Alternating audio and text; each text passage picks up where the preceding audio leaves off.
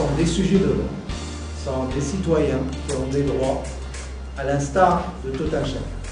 Et ça, c'est extrêmement important, nous allons le voir, parce que les modèles de représentation, il influe beaucoup sur la manière de prendre la cause des personnes handicapées. Donc notre, euh, notre atelier l'a porté sur euh, le plaidoyer en faveur de l'intégration sociale des personnes handicapées. Et donc on a parlé de l'expérience de collectif pour la promotion des droits des personnes handicapées. On, euh, on a insisté sur le fait que euh, la cause des personnes handicapées c'est une euh, affaire de droits de l'homme et ce n'est pas une affaire de charité qui est orientée vers un groupe de personnes, que ces personnes sont des citoyens et qu'ils ont des droits à l'instar de tous les citoyens des pays. Et ils ont notamment le droit de profiter de tous les services sociaux qui sont mis à la disposition de monsieur tout le monde et que ces services sociaux doivent être accessibles aussi aux personnes qui sont en situation de handicap.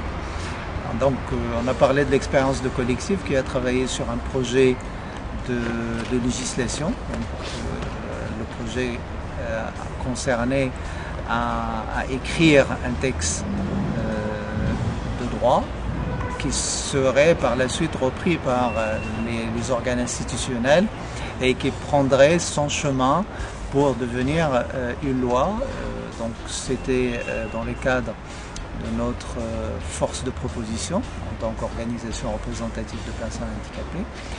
Et donc ce projet a été effectivement repris par le ministère du développement social euh, et puis s'est développé un projet de loi. Il a été déposé au secrétariat général du gouvernement et actuellement il est en étude par les différents euh, départements de l'État. Euh, pour nous, c'est un projet qui a réussi, c'est un projet qui a donné l'exemple d'une bonne concertation entre la société civile et, le gouvernement, notamment représenté par le ministre du Développement social. Bien sûr, le travail n'est pas terminé et il y a encore beaucoup, beaucoup de travail à faire pour accompagner ce projet parce que euh, le projet a encore beaucoup de chemin à faire et il faut qu'on soit vigilant pour que tous les droits que nous avons inclus dans ce projet de loi ne sont pas coupés ou ils seraient euh, diminués de leur valeur.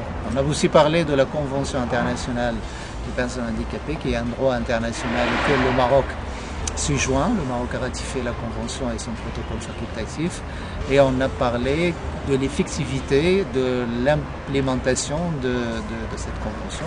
Donc on s'est dit que ce n'est pas tout de ratifier un droit international, mais aussi il faut que ça soit appliqué pour les, en faveur de, donc, des droits des personnes handicapées. Et puis on a parlé aussi du fait que euh, le droit des personnes handicapées ne concerne pas un département, mais ça concerne tous les départements, ça concerne tout l'État et que l'ensemble des acteurs doivent être impliqués dans ce domaine.